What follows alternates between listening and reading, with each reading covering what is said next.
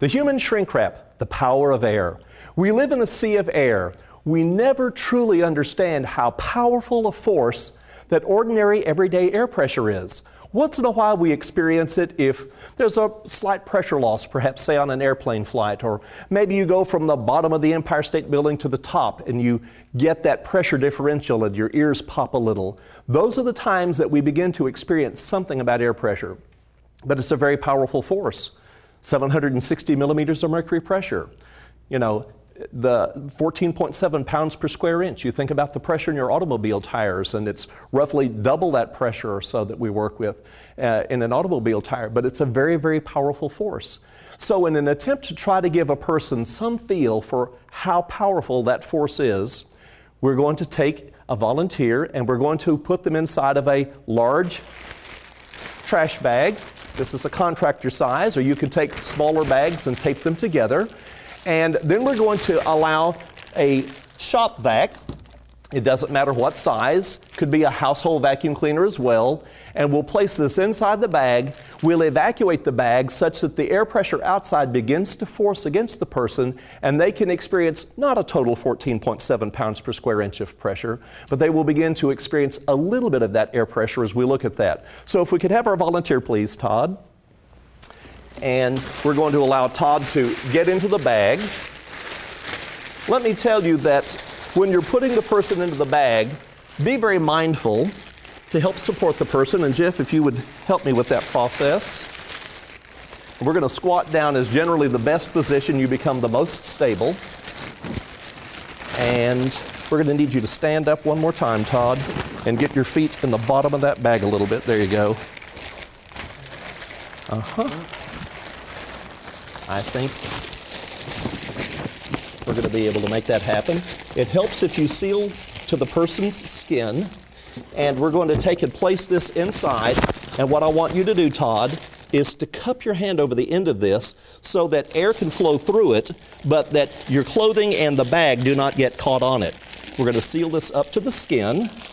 And I'm going to watch, and if you become alarmed or have any type of problem, then we're going to certainly release this. So, are you ready for this? I'm ready. All right.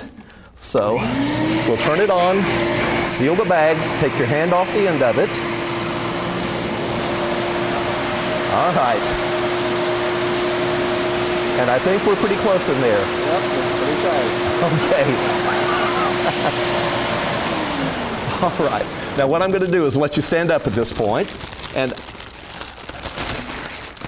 there we go. We don't want you to fall out.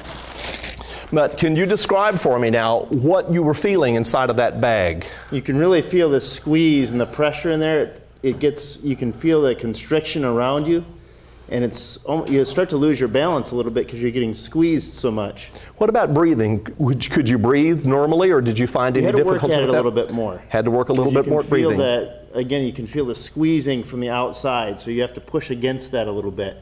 What about movement? Could you? I, I, know that you weren't doing a lot of moving in there, but was it because you were restricted or because you were just trying to keep from losing your balance? It would have been pretty hard to move. It would have been. All right. Nice job, Todd. Thank you. The This is a fun demonstration to do. Uh, again, uh, this is an activity that you would do with an, with an air unit when you're studying about pressure and the effects of pressure. We talk about that. This is an activity that I enjoy doing at a science open house night where we have parents and students come in. And parents can step into the bag, and brothers and sisters can step into the bag. And it's something that really gets a nice reaction from people because they begin to understand something that's happening. Some precautions, though, before you do that.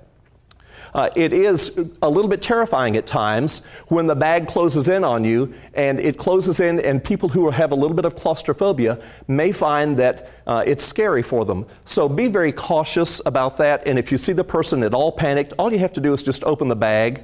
You don't even have to worry about turning off the vacuum. Just open up the bag so that the pressure is released at that point. Be very mindful about uh, putting a person into an embarrassing situation. Sometimes people will want to stand up in the bag if they're smaller, and that's an okay thing. But when the bag shrinks in, the body form becomes outlined, and it can be embarrassing for some people. So you would want to be mindful of that so that you wouldn't put someone into an embarrassing situation. And that's why squatting down in somewhat of a, a, catcher's stance is really a pretty good position because body features are perhaps a little bit less uh, obvious at that point. Do have someone, as I had up here, to help balance and support the person because when the bag comes in on them, it may be that they, again, become a little bit shocked and they just kind of like, oh, all of a sudden, and they would lose their balance as they're trying to be there. You certainly want, wouldn't want someone injured with an activity that it's a fun activity and then end up with an injury situation with that. So, the power of pressure, the human shrink wrap, it's a really fun demonstration. It's a way of experiencing something about air pressure in a way that's safe, quick, and very easy.